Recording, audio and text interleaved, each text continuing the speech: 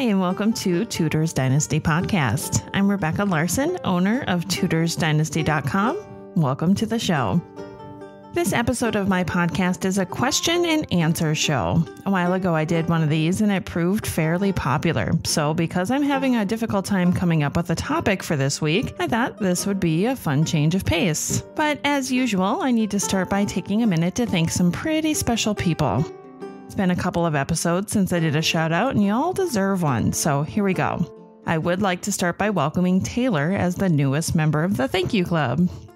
Thank you, Taylor. Also, Sarah C., Michelle T., Melissa S., Megan B., Christine T., Mary W., Donna K., Robert R., Lara L., Stacy L., Kathy K., Katie F., Rachel H., Diane B., Joy B., Lynn J., James V., Rachel D., Lacey W., Angela P., Azaria J., Alithia B., Ann L., Cynthia R., Lisa N., Stacy O., Nora C., Wendy A., Catherine R., Carrie H., Jen D., Cheryl T., Mary T., Nicole T., Tanya R., Melissa C., and Heather T. from Renaissance English History Podcast. You too can show your support by going to patreon.com slash tudors dynasty. Just click become a patron, and for as little as a dollar per month, you can show your support.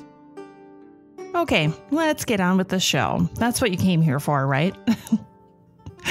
we'll start with our first question. A follower asked, Is it documented why Henry never let his daughter Mary get married while he was alive? There was no question about the person that I needed to ask about this question. Melita Thomas is the author of The King's Pearl Henry VIII and His Daughter Mary. If you're interested in learning about Queen Mary I and her life, then I would highly recommend that you buy or borrow this book. You might just learn something new.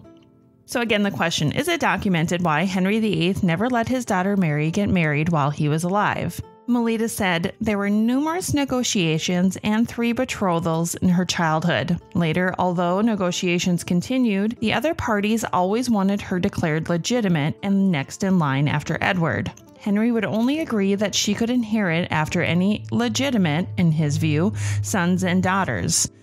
I think also that he was worried that if she were married to a man who commanded an army, she might be a threat to Edward.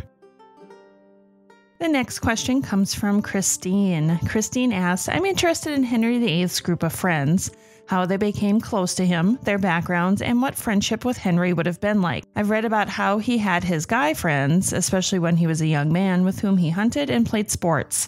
So I'm curious how they became friends with him and how those friendships played out over the years. We hear a lot about Charles Brandon, but only bits and pieces about the others. Christine, this is a big question, and I'll have to do a bunch of research to find all the appropriate answers for you. And unfortunately, I did not have enough time this week to do so. But I do know that Charles Brandon practically grew up at court with Henry since his father was the standard bearer for King Henry VII. I do assume that the rest of them met the future king through their parents' appointments as well. Sir William Compton, I found, did become a ward of Henry VII after the death of his father in 1493. Compton was then appointed by Henry VII to be a page to Prince Henry, who was then Duke of York. He was about nine years older than Henry, but the two became close friends. But that's all I have for now. Like I said, I'll have to put this in queue as a future article idea because there's a lot to be told here. Our next question is from James. Is it true that Elizabeth I feared death so much that near the end she would not sit down or go to sleep in fear of never waking back up? This has always struck a chord with me as it's almost symbolic as an end to a dynasty that her death would signal. Almost like with her reluctance, she knew or even regretted not trying to continue it. Well, James, I found mention of this in a book by Paul Johnson called Elizabeth I A Study in Power and Intellect. If you own the book, on page 436 it says Manningham. I presume he refers to John Manningham, who was an English lawyer and diarist, had dinner with Elizabeth's favorite chaplain, Dr. Parry, and three other senior clerics.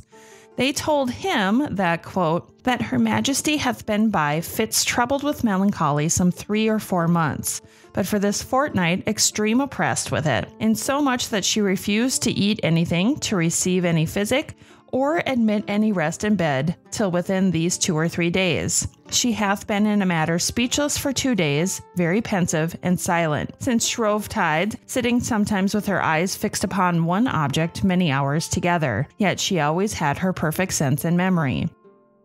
In Alison Weir's book, The Life of Elizabeth I, she also reiterates the statement with more specificity. On page 482, Weir also mentions on the previous page that Nottingham tried also to get her to retire to bed, but she refused, telling him, If you were in the habit of seeing such things in your bed as I do when in mine, you would not persuade me to go there. She added that she had a premonition that if she once lay down, she would never rise. Also, if you own the book, turn to page 483, and there's a quote At last, on the 21st of March, what by fair means, what by force, Nottingham persuaded Elizabeth to go to bed. Elizabeth died the following day. Heather asked Arthur Dudley, who washed ashore and claimed to be the child of Elizabeth and Robert Dudley, is there any reliable proof of? What's the full story there? Okay, so this topic is one that I haven't really studied yet. So I did find an article on the AnneBoleynFiles.com by art historian and novelist Melanie Taylor. In the article, she says that over the centuries, the debate about a possible royal bastard has continued, and it seems unbelievable that the Queen of England might have hidden a pregnancy from the court. During 1561, it was observed that Elizabeth suffered from dropsy and swelled, and was evidently unwell during the year. Now, there is so much more that's going to go into answering this question about Arthur Dudley that, again, I am going to have to add this one to the list of possible article ideas for the future because there is so much to cover with him. Whether he really was the son or wasn't the son, that will be up to a future article. We'll write a little bit more about that later. Kim asked the question Who killed the boys in the tower? Kim, I'm not going to poke that beehive and I'm going to leave that one alone because obviously we don't really know the answer and everybody's got an opinion and it just makes people upset. So I am not answering that one. But thank you, Kim, for the question. This next question is about Anne Boleyn. What can you tell me about Anne's supposed extra finger or fingernail? Is there any truth to it, and where did the story originate? So, for this question, Claire Ridgway is the owner of the AnneBoleynFiles.com and author of several Tudor era books. Now, the Anne Boleyn Files was the first Tudor website that I really started making a point of visiting every day. This website I even subscribed to because I didn't want to miss any of Claire's new posts. I figured Claire would be the best person to answer this question about Anne Boleyn. So, with that, what can you tell me about Anne's supposed extra finger or fingernail? Is there any truth to it, and where did the story originate from? Claire said it originates with a Nicholas Sander writing in Elizabeth I's reign, and there is no contemporary evidence for Anne having anything wrong with her fingers or hands. Sanders also wrote of Anne having a projecting tooth and a wen. Now, I'll have a link to Claire's article about this um, sometime soon so that you can read a little bit more about the about the Nicholas Sanders conversation. Now, what about the extra finger? Claire says, well, although an extra finger is not mentioned by any contemporary source, George Wyatt writes, there was found, indeed, upon the side of her nail, upon one of her fingers, some little show of a nail, which yet was so small. But the report of those that have seen her, as the workmasters seem to leave it, an occasion of greater grace to her hand, which with the tip of one of her other finger might be, and was usually by her hidden without any least blemish to it. He goes on to say that Anne had certain small moles, but goes on to write of her bright beams of beauty and rare admirable beauty. Wyatt obviously saw this little show of a nail as very minor, and it is far from an extra finger. The extra finger is definitely a big Boleyn myth. Wyatt makes absolutely no mention of a wen or projecting tooth, although Wyatt was not a contemporary of Anne Boleyn. He explains in his biography that his information came from a lady who attended on Anne before and after she was queen thought to be Anne Gainsford, and a lady of noble birth living in those times and well acquainted with the persons that most this concerneth, for whom I am myself descended, so people who knew Anne. The next question from Heidi Do you know if Jasper Tudor was ever married to someone other than Catherine Woodville? Well, the first person that came to mind to answer a question about Jasper Tudor was author Tony Riches. Riches is the author of many fantastic Tudor themed books, including the Tudor Trilogy three books Owen, Jasper, and Henry. Most recently, he released a book about Mary Tudor, sister to Henry VIII and Queen of France. All of his books are fantastic reads. But of course, for this question, I thought Tony would be perfect to answer a specific question about Jasper. So, do you know if Jasper Tudor was ever married to someone other than Catherine Woodville? Riches says Jasper was only married to Catherine, and it didn't go well as Jasper died in December 1495 without leaving Catherine anything in his will. And Catherine married Richard Wingfield as soon as she could. There is much speculation about Jasper's mistresses, but he didn't marry any of them. The next question I have is a big one. This is one that comes up in conversations quite frequently in the Tudor circles. Did Henry VIII have syphilis? If you haven't checked out Pustules, Pestilence, and Pain Tudor Treatments and Ailments of Henry VIII, you really must, and soon. And please forgive me if I'm completely slaughtering his name, but our author Seamus O'Calellaigh was a no brainer for this question. Seamus, did Henry have syphilis? He says the medical records of Henry VIII have never been found and likely do not exist. However, we can look at the letters to and from his court to piece together the ailments that Henry had. The main reason that people have speculated that Henry had syphilis are the personality changes Henry had later in life, the amount of infant death and stillborn babies his wives had, and he had a bunch of mistresses. First of all, comparing Henry's number of mistresses to other kings of the time, he had a few. Not that you cannot contract syphilis from a single encounter, but statistically, he had less mistresses than his peers, and so was less likely to contract it than them. His personality changes are more likely caused by the jousting accident, having out of control sugar levels, chronic pain, stress, and lead poisoning. We have records of all of the items bought for his houses, and the form of mercury used to treat syphilis has never been found. Finally, the stillbirths and marriages, it is more likely that Henry had Rh plus blood and his wives had Rh negative or some other sort of issue. There are letters about Henry's bowel movements. I'm sure there would have been a letter about a visible condition like syphilis somewhere in the talk of court. While syphilis is not always visible, like when it goes into the latent stage, previous to that, it would have gone through the first two stages, and I believe someone would have noticed. To conclude, we don't know that he didn't have syphilis, but the evidence is strong that he didn't, and that's what I believe. Thank you, Seamus. The next question is At what age was Anne Boleyn sent to Mechlin to further her education?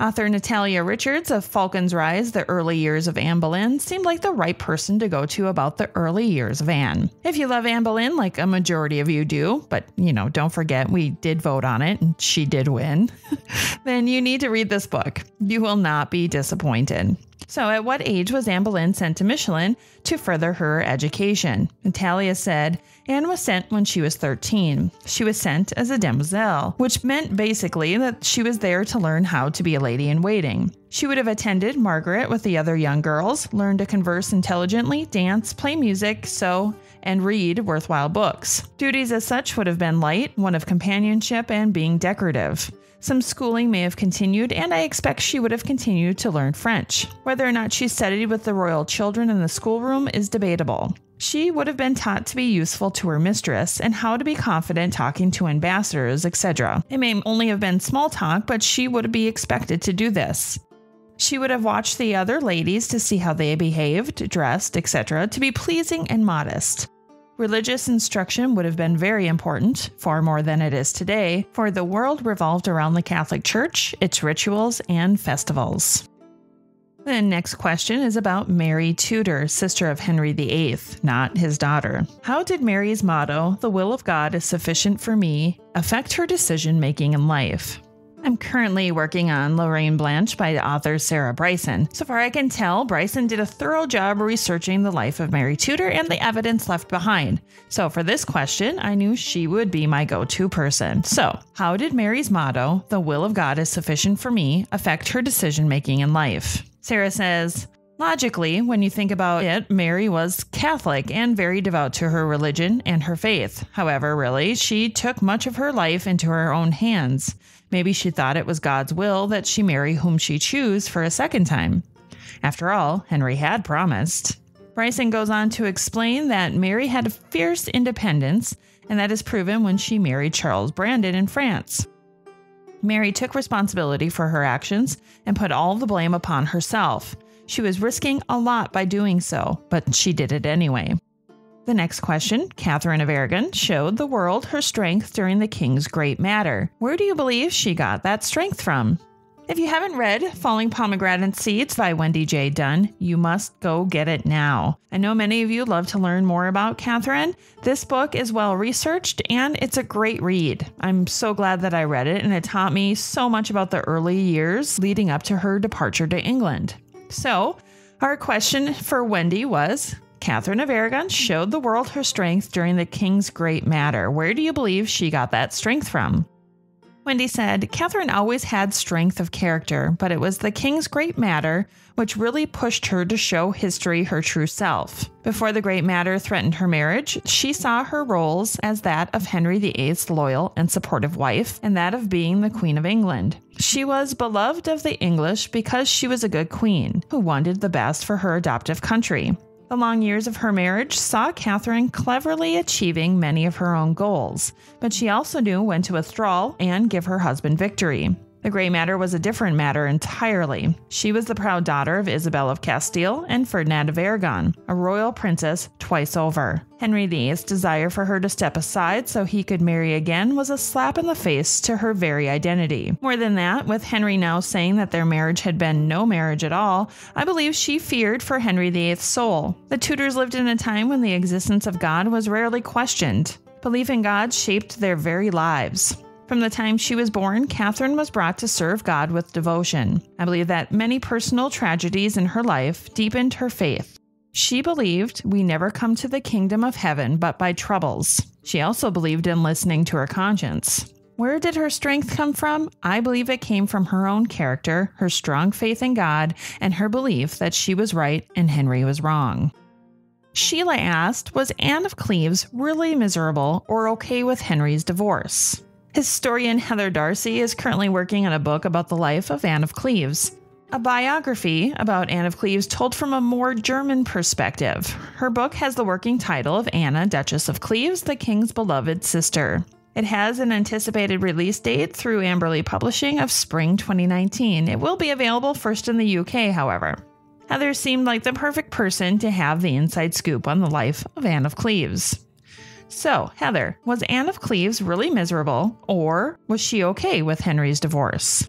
Darsie says that she has her own theories. She says that the theories are based on the overall arc of her book, and not on any letters and such written by Anna. It is anyone's guess how she felt. Anne was dignified, gentle, gracious woman. She was also smart. She learned English in less than 6 months. Yes, she still had her counselors to help translate, but wouldn't anyone want someone to translate such an important, serious matter?